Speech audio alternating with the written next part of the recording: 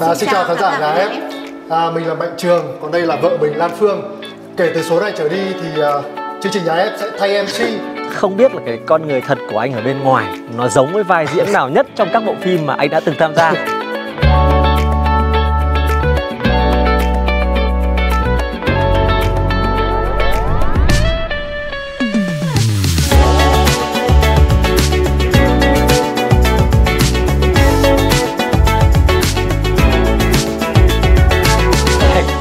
Là Thấy quả view thấy được quả view quá đỉnh luôn thưa quý vị và các bạn. Để mà nói một cái khu mà có được cái view như thế này thì rất là ít.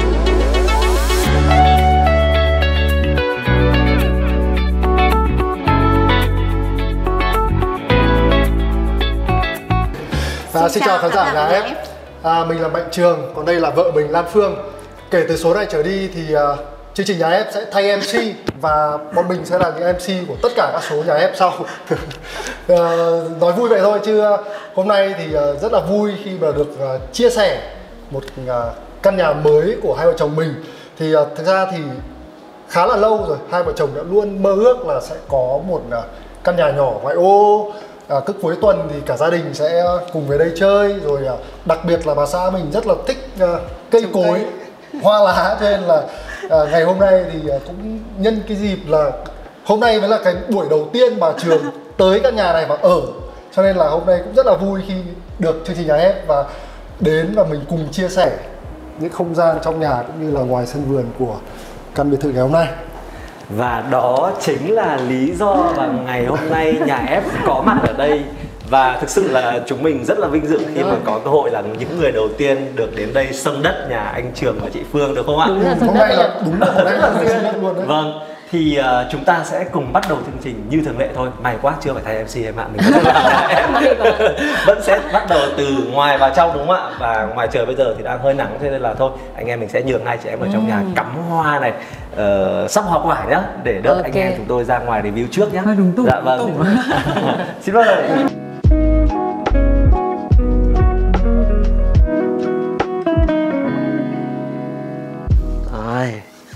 Nhưng mà anh Trường ạ phải công nhận là ngày hôm nay là một ngày rất là duyên. Bởi vì sao? Bởi vì thường thường ấy là hai anh em mình chỉ hay gặp nhau ở trên màn ảnh nhỏ đúng không? Ít có cái dịp để mà gặp nhau ở ngoài bởi vì công việc của hai anh em đều rất là bận. Mình thì hay xem phim của anh Trường còn anh Trường thì hay xem nhà ép. Nhưng ngày hôm nay anh em có gì gặp nhau thì lại đặc biệt ở chỗ là đến sông nhà mới của anh Trường luôn. Phải nói là cảm ơn nhà ép bởi vì Vâng. là có rất là nhiều những cái kiến thức về kiến trúc Dạ. mà anh học được từ kênh của bọn em và rất là nhiều những cái thiết kế của anh anh Dạ. xem anh tham khảo những cái ngôi nhà trên đấy và mình áp dụng cho mình Dạ vâng, thì đây như mọi người đang thấy là cái căn nhà của anh Trường thực sự là một cái ngôi nhà rất là đẹp Nó có đầy đủ tất cả nằm ở trên một cái thế đất nhìn xuống đồi núi Phong cảnh ở xung quanh vô cùng đẹp, cây cối Bể bơi, sân vườn đều được thiết kế nắn nót và tỉa tót một cách rất là cẩn thận. Không biết là lúc nãy em có nghe chị nói loáng thoáng là cái này là do chị sắp xếp hết được không anh? thật ra thì phải nói thật là là vợ anh là cái người mà rất là rất là thích về chuyện bài trí hay decor. Dạ, tất cả mọi cái của anh là anh phó thác cho vợ anh hết. Dạ, từ cái việc tất cả những cái cây này cái cây các thứ là đều Vâng. là vợ anh chọn xong rồi những các cái bài trí đặt nó vào đâu hay là đấy như cái phong cách thiết kế bên trong nhà em cũng thấy nó tại sao mình nhìn nó hơi hơi nữ tính một chút là chính là vì lý do đấy. Đây là kiểu mình hay nói đùa với anh Trường đây là cái thiết kế mà mang đậm cái nét ờ, cá nhân hóa đúng không Cá nhân hóa, đúng rồi quan trọng là mình thích là được. Nhưng mà cái hay ở đây em thấy là chị ờ, thích một phần nhưng mà lại nó lại hợp lý nữa cơ. Vì đôi khi thích Ừ. nhưng không hợp lý thì nó lại không ổn lắm. Nhưng mà đây vừa thích lại còn vừa hợp lý. Kể cả cái phần mà bể bơi như mọi người đang thấy này thì ờ, lúc nãy anh Trường có chia sẻ là bể bơi nhà mình là dùng cái công nghệ điện phân mới đúng không anh? Ừ. cái này thì nó rất là an toàn cho có lẽ là cái um, cái điểm mà hiện tại bị anh anh ưng ý nhất vâng trong cái khoảng sân này chính là cái bể bơi. Vâng. Thế ban đầu anh anh không nắm quá rõ về những cái công nghệ hay là những cái thiết kế đâu. Vâng. Mình chỉ thường mình hay để ý đến là cái màu đá thế nào hay Vâng. là màu nước thế nào trọng thôi. nó đẹp hay không thôi Đấy, đấy. vâng Thế xong đến khi mà các bạn làm bể bơi thì phải nói thật là anh cũng tìm được một cái đơn vị thiết kế cực kỳ là tốt. vâng uy tín họ đưa ra cái ý Dạ. tưởng cho anh là anh nên làm thế này với cái thiết kế như anh. Thế thế và đến khi mà xong và lên được cái thành quả như này thì phải nói thật là anh rất là ưng ý. thứ nhất là màu nó đẹp Ừ. và thứ hai thì cũng như anh trường chia sẻ là khi mà mình ngồi trong phòng khách ấy, mình nhìn ra bên ngoài Đúng thì rồi. đây nó giống như là một cái tấm gương lớn rồi, nó sẽ như nó phản chiếu lại màu trời màu mây màu núi vâng thực sự là nhìn rất là chill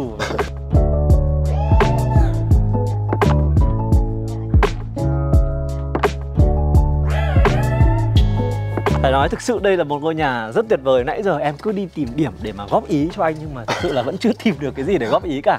Thôi thì hỏi luôn vậy. Ừ. ở trong ngôi nhà này anh tâm đắc nhất ở điều gì và điều gì là cái yếu tố mà then chốt để anh quyết định chọn ngôi nhà này? Cũng chính là cái mà em vừa nói đấy chính là cái view là chính cái là view không gian. đúng không? Đây. À, cái cái ngày mà bọn anh quyết định là mua vâng. tại đây này thì hôm đấy hai vợ chồng đi xem và xem và quyết định mua luôn.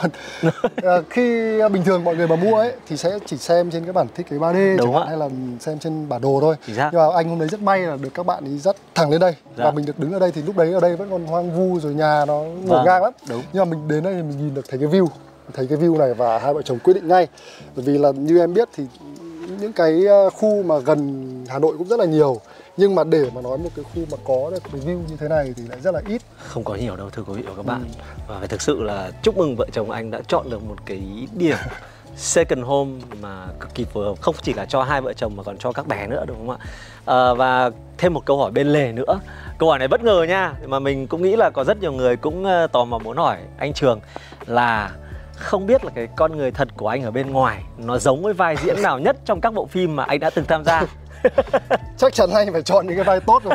Vai người tốt việc tốt chứ vai phản diện hay là những cái vai bệnh hoạn chút thì sở khanh thì chắc là không chọn đâu đúng không? Ơ nhờ là phải nói là cho đến thời điểm này thì vâng.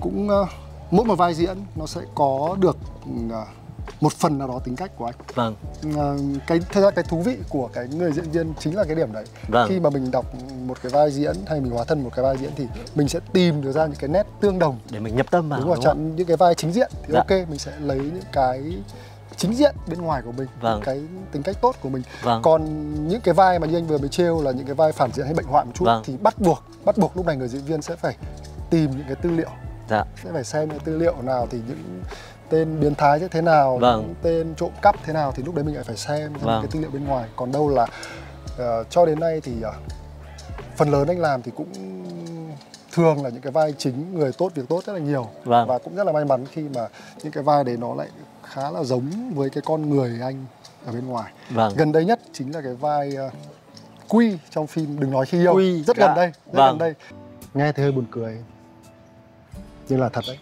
thành ra là cái vai đấy thì nó giống tại sao vì là từ cái tính cách nó hơi uh, tếu táo vui vui vâng. rồi nó cũng có cái nét đôi khi cần phải lạnh lùng phũ phàng một tí thì vâng. thì anh thấy cái vai đấy là một cái vai mà có thể nói nó tổng hòa khá là nhiều những cái điểm tương đồng vâng. và khi mà anh làm cái vai diễn đấy thì bản thân anh đạo diễn anh đạo diễn thì cũng chơi với anh dạ. anh đạo diễn bảo là thứ vai này em cũng chẳng phải diễn gì đâu em cứ mang đúng con người em vào là ok vâng và thực sự là từ lúc mà gặp quen anh Trường thì em cũng đã học hỏi được rất nhiều điều từ anh bởi vì anh Trường thực sự là một mẫu đàn ông của gia đình thưa quý vị các bạn. Ngay cả chiếc bể bơi này thôi anh ấy không quan tâm đến là đẹp hay không đâu mà quan tâm ấy là nó phải an toàn cho da của uh, chị và các bé bơi được thì anh mới áp dụng cái công nghệ đấy vào cái bể bơi này. Đấy nhưng mà thôi bây giờ cũng đang hơi nắng anh em ừ, lại quay trở lại xem trong nhà xem là các chị em như thế nào rồi nhỉ. Ok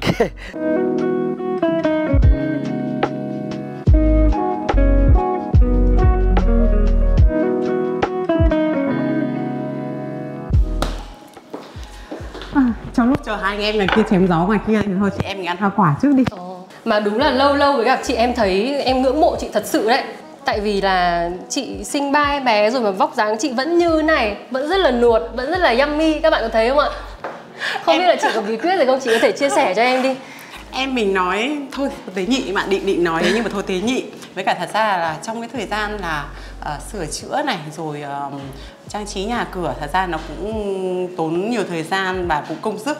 Thế cho nên là cũng nhờ cái cái cái việc mà uh, phải uh, đi uh, mua đồ uh, decor trang trí ở trong nhà thì nó cũng làm cho chị giảm cân nhiều.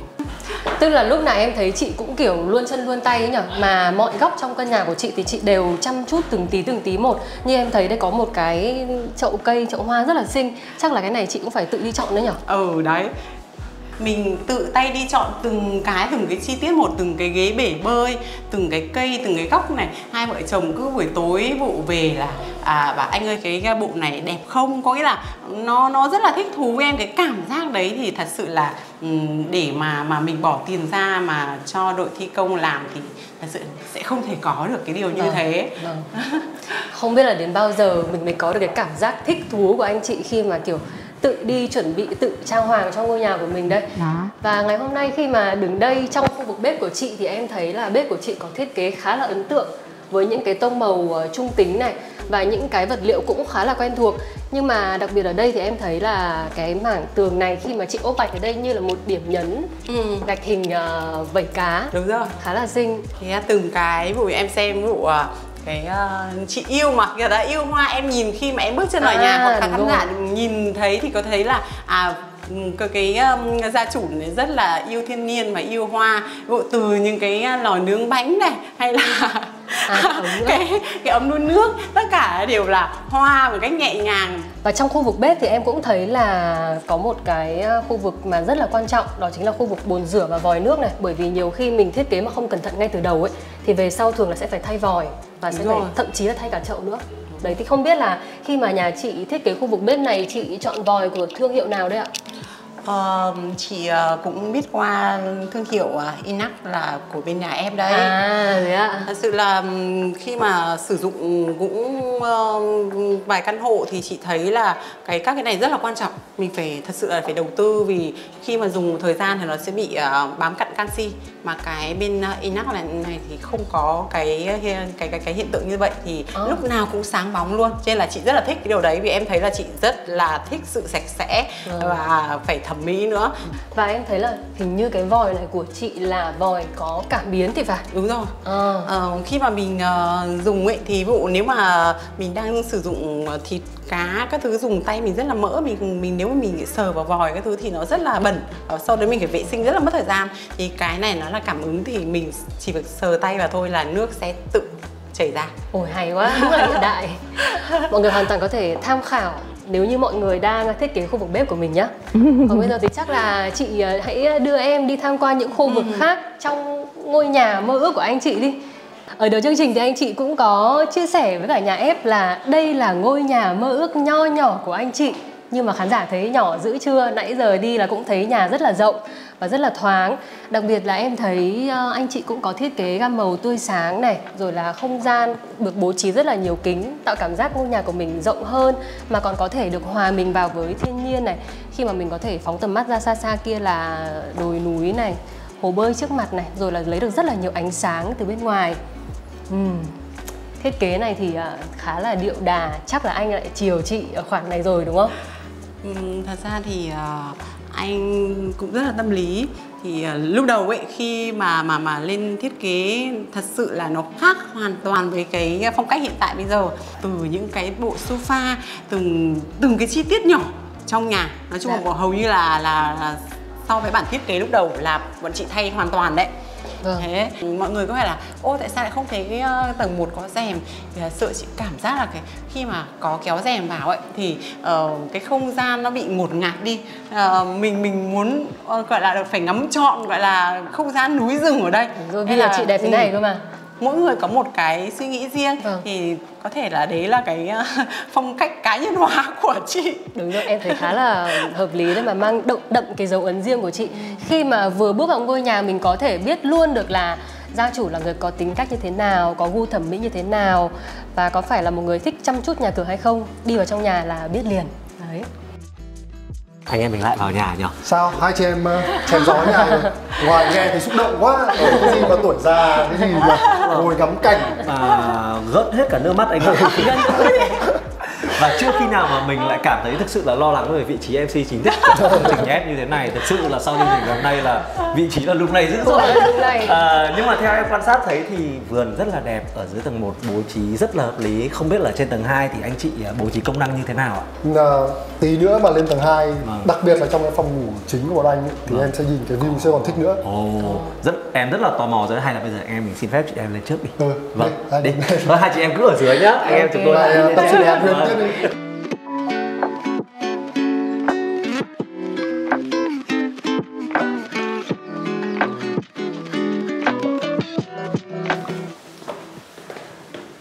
đây phòng ngủ chính của anh bên này còn phòng chip bên này À. à. giới thiệu với chú đây là tranh của chip vẽ Ủa, một cái bức ở dưới nhà cũng là À, chip vẽ đây Chip là con gái lớn của anh Trường và em có, em có quan sát thấy ở dưới rồi và em thấy có chữ ký chip nhưng Ừ. mà em không nghĩ là của chip vẽ đâu bởi vì thực sự là nó rất đẹp. Thực ra lúc mà chip vẽ xong về là anh bất ngờ đấy Tại Vâng. vì là mới cho đi học cũng một thời gian ngắn mà Và cũng chỉ nghĩ là học thì học vui vui ấy Không ngờ về cầm mấy cái tranh về mà anh còn bảo là cô vẽ hay là con vẽ đây Cái này là phải có năng khiếu thì mới làm được như thế này tại vì là những bức tranh nó rất là có hồn và sinh động. Ờ, quay trở lại ngôi nhà thì mình thấy là phần cầu thang đi lên anh chị để cũng rất là rộng. Ở trên này em thấy là có một cái um, ban công nhỉ? Ừ, thật ra anh ở bên cũng ngoài. khá là thích thiết, cái thiết kế này của, Vâng. của bên chủ tư vì là cái phần ban công này và cái phần ban công chính phía sau kìa họ để rất rộng Vâng. nó sẽ hơi khác với những cái khu Vâng. khác Và như anh vừa nói thì đây là phòng của Chip, Ừ. còn phòng của anh chị đây đúng không? Ừ. Thế mình à, vào phòng này trước nhỉ? Vâng, dạ.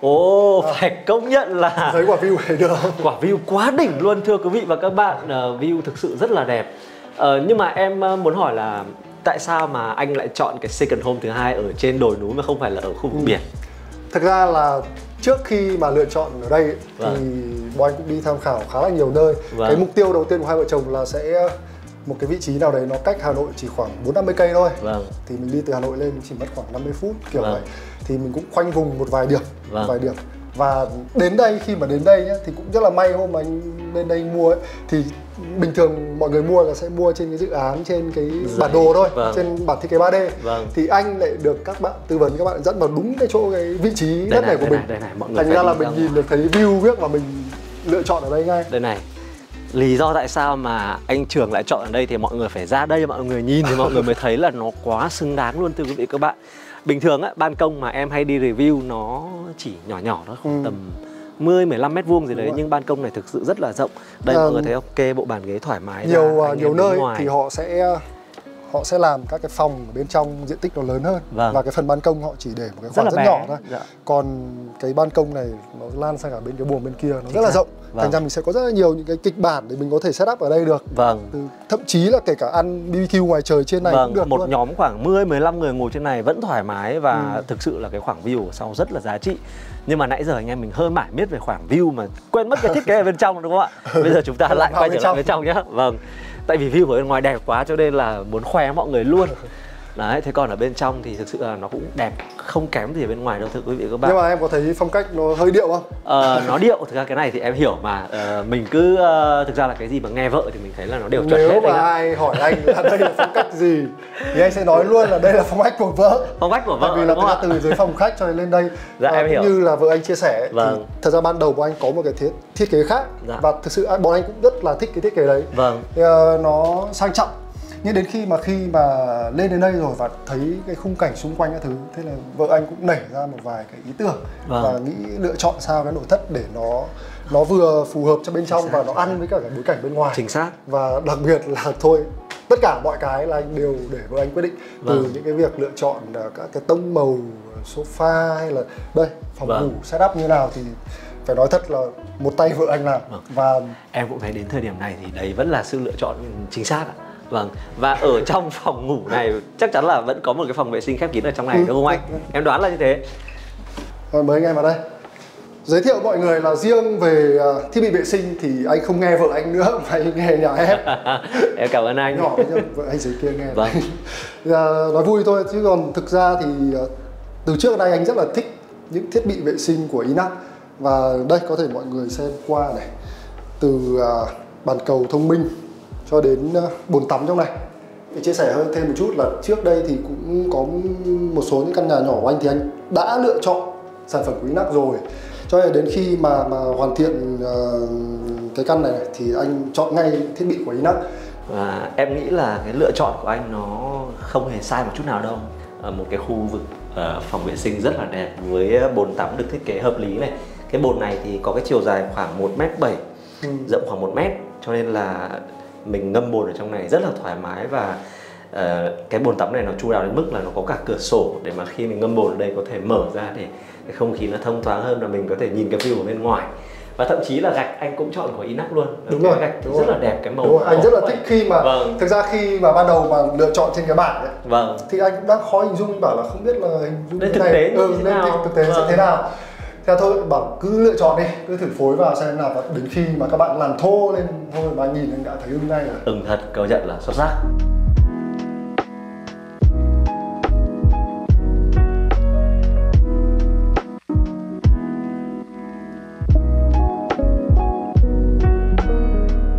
Là ngày hôm nay thì nhà em đã có cơ hội đến thăm ngôi nhà nhỏ mơ ước của anh Mạnh Trường và chị Phương. Thực sự là ngày hôm nay à, khi mà đến đây và tham quan thì em cũng thấy là anh chị thực sự là có cái gu thẩm mỹ rất là cao này, cũng như là rất là cẩn thận và chăm chút cho cái không gian nhỏ của mình.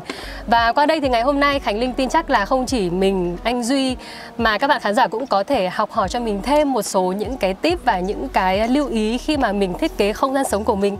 và đặc biệt thì mình nghĩ là ai cũng mong muốn là có một gia đình à, hạnh phúc như là gia đình của anh rồi. Mạnh Trường và chị Phương đúng không ạ? Và thực sự là, là từ tận đáy lòng em em luôn chúc là anh chị thật có thật nhiều sức khỏe gia đình luôn luôn hạnh phúc và trong này sắp tới thì à, cố gắng là có thêm nhiều nhà đẹp để tụi em đến Câu nói quá hay. review thêm nữa được không ạ? Dạ, rất là cảm ơn rất là cảm Dạ. ơn nhà ép thứ nhất là à, cái buổi ngày hôm nay à, đến tham quan gia đình anh nhưng mà cái cảm ơn à, quan trọng nhất ấy, chính là anh đã ừ, có được rất là nhiều những cái kinh nghiệm Dạ. khi mà xem kênh nhà ép của bọn em Dạ. và cũng à, chúc cho anh em của nhà ép sẽ à, càng ngày càng phát triển để sẽ lại có nhiều những à, căn nhà đẹp để Dạ. cho khán giả chiêm ngưỡng cũng như là học hỏi về những cái kiến thức về kiến trúc Vâng ạ, và biết đâu sau này anh Trường lại đi dẫn nhà ép thì sao? cho nên là mọi người nhớ đăng ký subscribe để ủng hộ tinh thần cho tất cả mọi người ở đây nha. À, rất cảm ơn mọi người đã quan tâm theo dõi chương trình ngày hôm nay của nhà ép và chúng ta sẽ còn gặp lại nhau ở trong những số tới. Còn bây giờ thì vẫn như thường lệ, xin chào, cảm ơn và hẹn gặp lại. Bye bye.